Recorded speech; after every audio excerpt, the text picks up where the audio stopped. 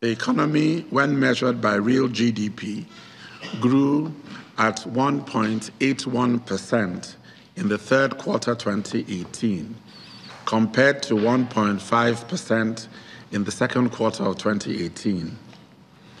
The Federal Executive Council was particularly encouraged to note that economic growth continues to be driven by the non oil sector, which grew by 2.32% in the third quarter. This has been the strongest growth in non oil GDP in 12 consecutive quarters since the fourth quarter of 2015. On his part, the Minister of Transportation also got approval for security contract in the maritime sector.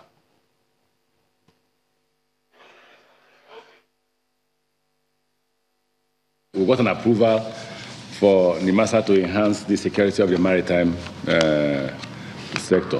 In terms of maritime sector, we are talking about the security on the waterways and uh, the a contract what 22.995 million dollars was approved for six companies to protect six sections of the Uh, coastal waterways.